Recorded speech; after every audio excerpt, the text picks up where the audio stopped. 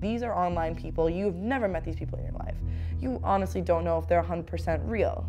You know, it's so easy to lie on Facebook. And that's scary about social media. Once you put stuff out there, anyone can see And it. it's a devil's notebook. This guy randomly started messaging me on Facebook. Facebook and Instagram and Twitter, and they all had my It was all automatically like a red flag there. She was pretending to be somebody else. She was else. saying that that was me. Not actually talking to this person. I didn't know where to go from there. No one could make this girl take it Like, down. I don't know who I'm talking to. Like, this isn't who I think I'm I don't know talking what to. you people want. They had been talking to her for for months, and they actually thought they were talking to me. This is the story of one young woman and what she went through when she found her pictures were all over social media.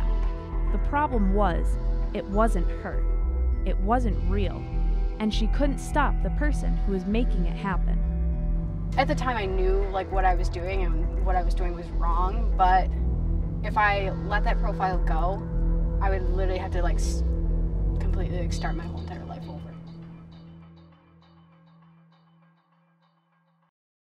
My name is Michaela Bastian. I go to Brockport. I hope to do something creative in my life, and yeah, I love it here. I have a bunch of friends, and life's good. Michaela Bastian has been an active user of social media for several years, but she never thought she'd encounter cyber deception until she met Katie Austin. I was at a concert with my friends, the 98 PXY uh, Summer Jam. We were listening to the music, and then all of a sudden I hear Katie Austin, Katie Austin. And I was like, that's weird.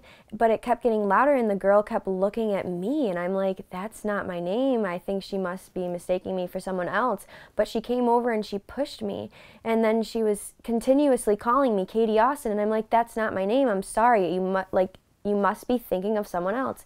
And she's like, no, this is you. And she pulled up um, different websites.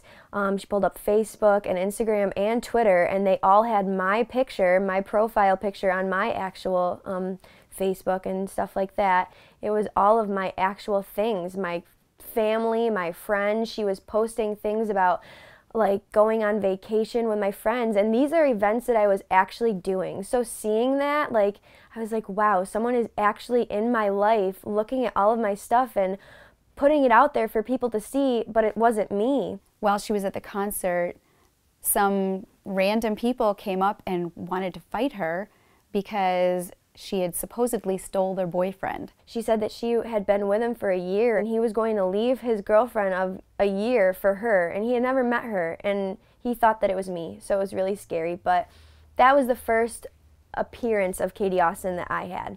When this all happened for the first time, we ended up kind of blowing it off, thinking that it wasn't as big of a deal as it really is. There was nothing we could really do. I didn't know who it was. I mean, it was scary, but there really wasn't anything I could do. Over the year, the next year, it kind of kept happening over and over again where it was it wasn't going away. I had this call from a girl from my school. Michaela had found out through a friend um, of Katie's who was kind of friends with Michaela and felt like she needed to know who it was and what was going on and what was happening. She was like, Hi, my friend is doing this. I'm not sure why she's doing this, but I feel like you should know because I think that it is wrong and it's scary, and I know that you're scared about it. I've been hearing around. So I just wanted to let you know that it is this girl. And I was like, wow, like that's so strange. I go to school with this girl. I walk this these halls with this girl and she's literally using all of my things and we go to school together. Like it's just so strange. So I texted her and I was like, "Hi, could you please take this down? Like it's it's not right. It's scaring me and you're you're falsely using my things." And she was like, "Yeah, I'll take it down. I'm sorry." And she apologized and I was like, "Okay, maybe it's down, whatever." And so I tried to look at the websites and I I couldn't find any of them. And I was like, "Okay, she took them down. This is fine." It just kept elevating over and over and over. A few weeks later, I get this message from a random boy on my Facebook, and he was like, You need to delete this account. It's a fake account. And I was like, What are you talking about? He was like, There's another girl named Katie Austin, and she's using all of your photos, and like, either that's a fake account or you're a fake account, and I want to know who's a fake account because I'm talking to this girl. Every day we would come home from work Michaela would come home from school and it was another story about Katie and how Katie was ruining the image that my daughter was supposed to be creating. I went to my parents again and I was like, we need to do something about this. Like, no one else, she's not going to do anything. She's not going to take it down. In our school districts, we have sheriffs that work within in the district, and we ask their opinion about what we should do. Um, in both instances, those sheriffs said that there's really not much you can do.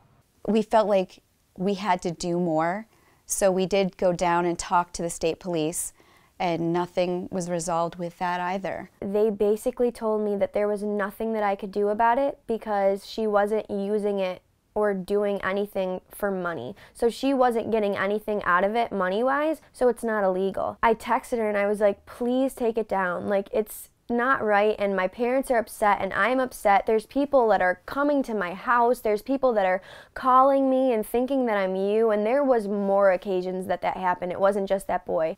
She would come home and she would be upset. She, you know, was causing problems with her relationship with her boyfriend because she had boys trying to contact her. I didn't know where to go from there. I mean, no one could make this girl take it down. I was at, at the park down in town and it was a festival and I was working in a booth for a fundraiser and this girl and some of these other girls started walking around and I can feel my emotions just taking over and getting very emotional as a mom like oh my gosh you know here's this mother instinct coming through. I need to do something. I need to say something. This is not okay. You can't take my daughter's pictures. You can't take my pictures. You can't take my family's pictures.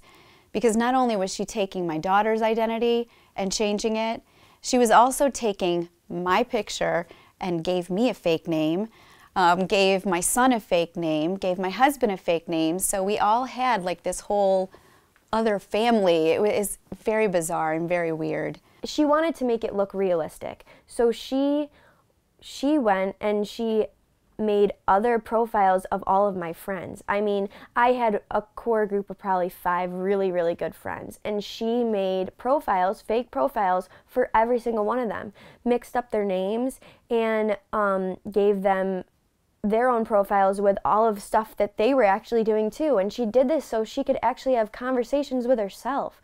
So she would log into my account, say something, log into their account, and respond to it. So it looked like this girl was real. She said she was going to stop, but it did not. It did not stop. She couldn't take it down because she had made relationships and like so many personal connections through doing this that she couldn't lose those. And I was like, wow, like this is getting a little bit a little bit too in, like intense. She's actually very caught up in the relationships that she is making with these people. I feel like the end to it all came when we graduated. Life kind of went on and it was kind of like a high school thing. If I could ask Katie Austin one thing, I would have to I just want to know why. It pretty much started. Um, I don't know. I was like going through a really, really, really rough time. Um, I had a lot of, you know, rough times like in my childhood, and that kind of like manifests itself into like my preteen years, I guess. I only had like one like really really really close friend and she had like kind of like moved away and was like kind of moving back and forth and kind of doing that thing. So I was like kind of like on my own for a while. And I guess I was just like really really lonely and I had a lot of like self-esteem issues. Um, I had a lot of not feeling like worthy or like lovable or likable or personable. Um, I always felt like I had to literally be someone else for like anyone to like me. Obviously, she's a really, really, really pretty girl, and you know, people just naturally just wanted to talk to her. It was really quick how it kind of like rolled. Like as soon as I like put it up, like so many different people like wanted to talk to me, um, and I kind of just, you know, I fed into that. I fed into like being liked and people like wanting my attention. There was a point in this which was kind of like the blunt of it where I honestly did not have my own personal life. Like I didn't have people that I spoke to as myself. There was a time where like the only like relationships I had were through this profile and I think that's why it was so difficult for me to let it go. I started in 2009. I was done with it either December 2013 or January 2014. When I did end the profile, it took me a little bit to kind of like get back on my feet and kind of um, get back into a place where I felt comfortable and happy with like myself and the way things were going. I mean, I, I know that I wasn't like intentionally doing it like to her. Like I wasn't trying to like attack her in any way. I don't hate her. I don't dislike her. Um, I feel like a lot of people thought that like I hated her so much that I was doing it like out of spite, and that was not the case. Um, but once I did end the profile, I mean, I wouldn't go back to to that. I'm much, much, much happier now. You know, having like real relationships and real people I can like hang out with and see and talk to and that kind of thing.